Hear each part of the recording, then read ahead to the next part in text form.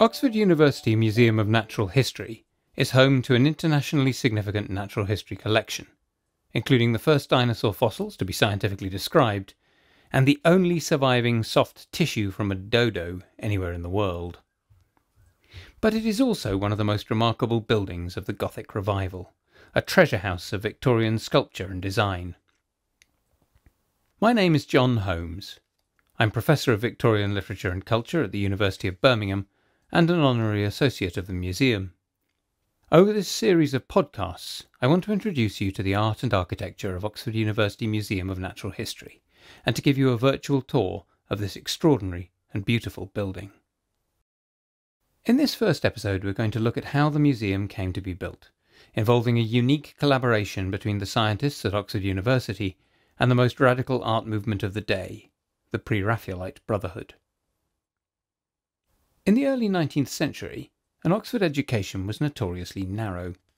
All the students studied Latin and went on to read either classics or mathematics. There were a small number of established professorships in disciplines like medicine, astronomy, and chemistry, but there were no degrees in science, only informal lecture courses for members of the university who happened to be interested, such as the one shown in this early print, given by the geologist William Buckland. In 1847, Oxford scientists finally decided that the university was seriously at risk of falling behind the times. They launched a sustained campaign for a new science faculty, with its own degree programme.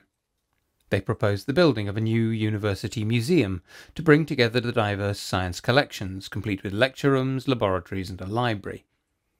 But the university took some persuading. Oxford in the 19th century was still a church foundation, with most of the students en route for the clergy. Indeed, many of the scientists themselves were priests, including Buckland.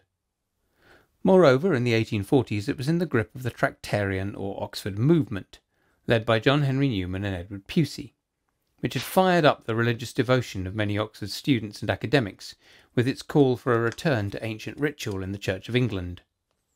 Pusey and his party were deeply suspicious of what they saw as the latent, or not so latent, materialism of science. The Oxford scientists had a job on their hands to reassure them, in order to win the consent of the university as a whole to the building of the new museum.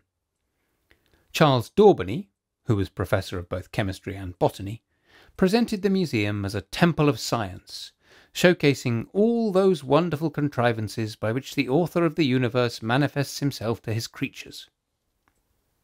Henry Acland, who was the reader in anatomy at Christ Church, wrote a public letter to the Regius Professor of Divinity, reassuring him and his colleagues that the sciences comprised facts connected, illuminated, interpreted, so as to become the intelligible embodied expression to his creatures of the will of God. For Daubeny and Acland, who led the campaign for the museum, science was not materialism, but natural theology, a means to understand God by understanding his creation. Even so, it took several years for them to convince the university that it ought to start taking and teaching science seriously. It was not until December 1853 that the university finally committed to buying a plot of land for the museum at the southern end of the university parks. The following April, the architectural competition for the building was launched. Once the university had decided to build its new museum, a key question alongside practicalities was what should it look like?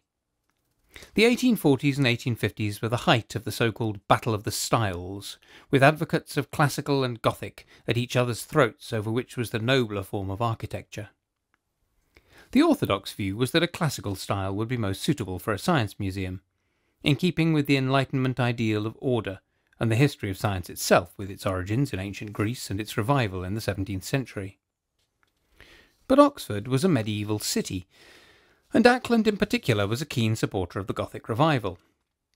John Ruskin, the leading art critic of his day, was a close friend of Acland's.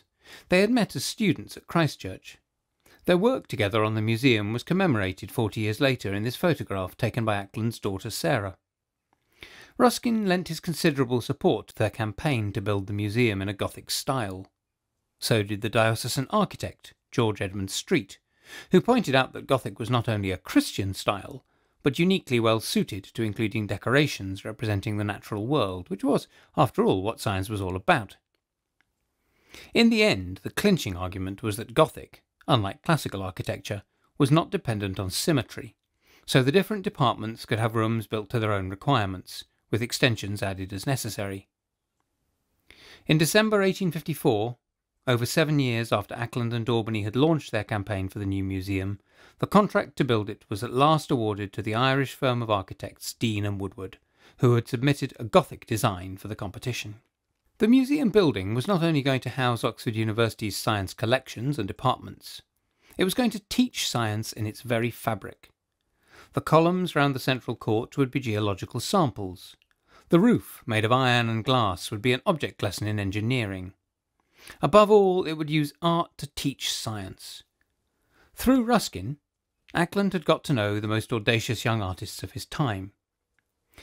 The Pre Raphaelite Brotherhood was founded in 1848 by a group of seven young artists who were dissatisfied with the education they were receiving at the Royal Academy, London's most prestigious art school. They rejected the idea that the way to create great art was to imitate the old masters, in particular Raphael. Instead, they believed that an artist should look at the world afresh.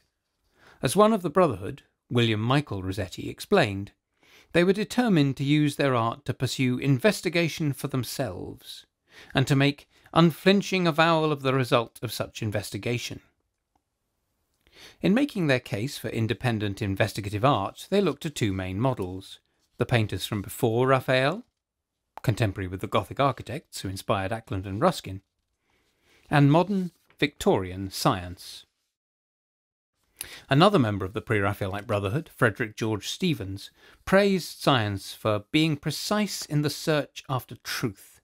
If, he asked, this adherence to fact, to experiment and not theory, has added so much to the knowledge of man in science, why may it not greatly assist the moral purposes of the arts?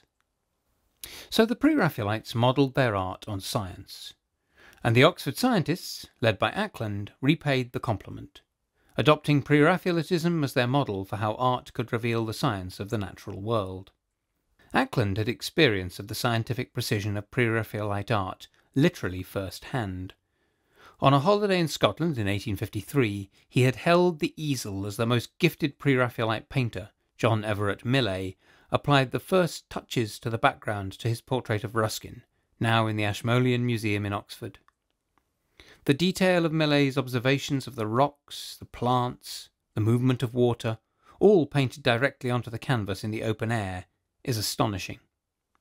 When he came to commission the decorative art for his new museum, Acland insisted that its transcript of nature be painstaking, sagacious, and honest, declaring that, for this high standard of artistic precision, we owe a just debt of gratitude to the young school of artists called, half in jest, Pre Raphaelites.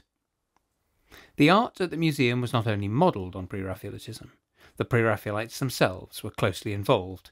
Dante Gabriel Rossetti advised on the project. Ruskin and others contributed designs. The sculptors Thomas Woolner and Alexander Munro carved the first of the statues of scientists which surround the central court.